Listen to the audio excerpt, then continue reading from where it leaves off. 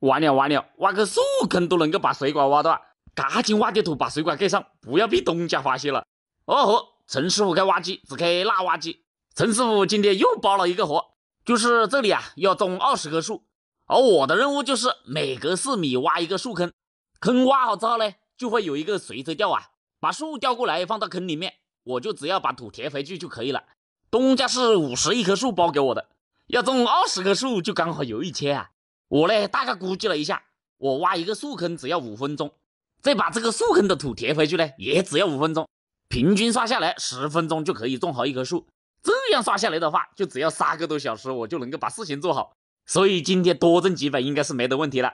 结果我才刚挖了四个树坑，东家就要我填掉一个，我还以为是我挖的不好要我填掉嘞，后来才知道是那个吊车吊不到那棵树，所以要把这个树坑填掉，吊车要开进来。可万万没想到啊！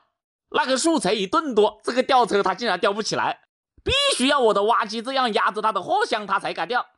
哎呀，我本以为只要几分钟的，但是这个树要想把它放正，实在是太费时间了。结果啊，这里又耽误了我半个小时。吊车找了之后呢，我又要把这个树坑重新挖出来，这里又耽误了我五分钟。哎呀，这下至少要四个小时以上才能够把这件事情做好了，因为这件事情是包的啊，不能磨洋工。我一个多小时就挖了一十六个树坑，那边已经种不下了，剩下的四棵树呢，就只能种这边了。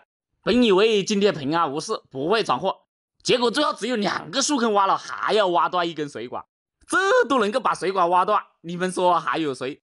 趁东家现在还不知道啊，先挖点泥巴把它盖住，然后呢，再把这个水呀一斗一斗的全部舀出去，嘿嘿，这样应该东家就不知道了吧？后来呢，我想了想，我还是不能够做这样的事。要是被东家发现了，呢肯定不好。我就打了个电话给接水管的舅舅，舅舅呢就带了一根水管过来，一下就帮我接好了。本来半天就可以搞好的事情，结果下午还要两个小时才能做好。一个上午的时间，吊车就把树全部放好了。接下来呢，我就要把这些树全部要填满土才行。又花了将近两个小时，我终于是把事情做完了。可没想到啊，这个东家他竟然给我说还有三棵树，而且这三棵树呢，要我给他帮个忙算了。哎呀，没办法，又把挖机开到另外一个地方，然后挖了三个树坑，等吊车把树放好之后，再把土填回去。就这样，本来计划是三个多小时能够做完的事情，结果硬是做到太阳下山才收工。看来以后还是不能够包活做了，只做几小时的还是好一点。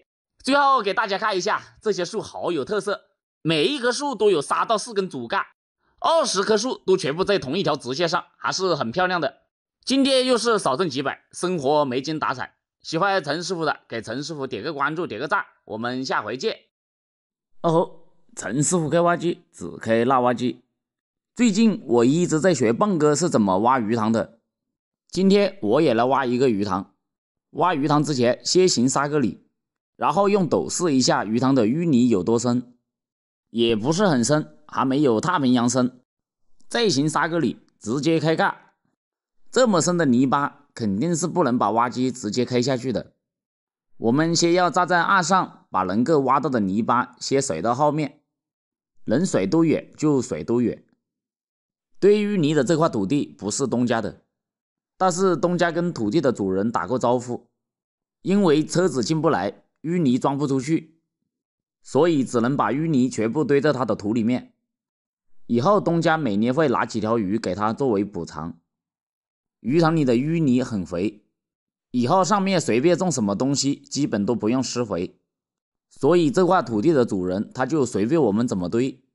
挖到硬底之后，我们现在就把挖机开下来挖。挖机开下来之后，淤泥就甩不了这么远了，只能挖到鱼塘的边边上。才挖了没几斗，感觉又要流到鱼塘中间来了，这下只能先把挖机开上来。然后把堆在上面的淤泥甩远一点。挖这种鱼塘，要是有两台挖机配合挖就最好了。一台挖机扎在鱼塘中间，把淤泥挖上来；另一台挖机就扎到上面，把挖上来的淤泥甩远一点。这样就可以省去挖机开上来开下去。由于这个淤泥实在太稀了，上面堆不了几斗，就又流回鱼塘里面了。所以我就到这里做了一个堤坝。这样就可以把淤泥挡住，防止淤泥又流回鱼塘中。做好堤坝之后，我们又开下来继续甩泥巴。这下每次就都可以甩一些泥巴到上面去了。甩了二十方左右的泥巴上去之后，上面又堆不下了，所以我又把挖机开上去，又把泥巴扫远一点。这个淤泥实在是太稀了，只能这样简单的扫一下。我们又把挖机开到下面去，继续挖鱼塘中间的泥巴往上面甩。今天我是下定了决心，不把这鱼塘里面的淤泥挖完，我是绝对不会下坝。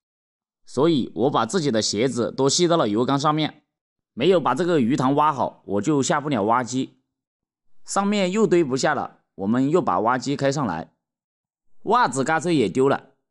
不把这鱼塘挖好，中华都不回去吃。这一块土地，东家也打了招呼，可以堆淤泥。上面这些地方能堆的也堆几斗，这个鱼塘看着只有这么一点大，但是里面的淤泥感觉越挖越有，才挖了一小部分，这上面也堆不下了。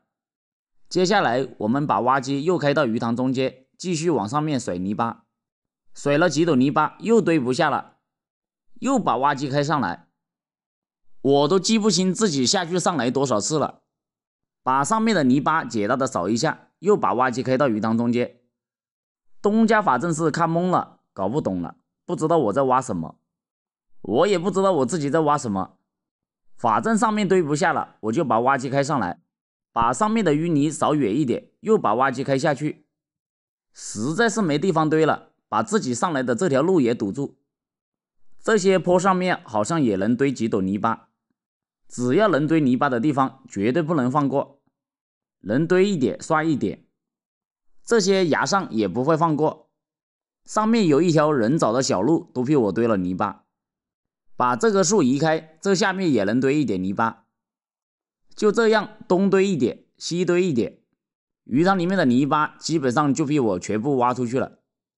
最后，我们把坡扫一下，塘底也扫得干干净净的。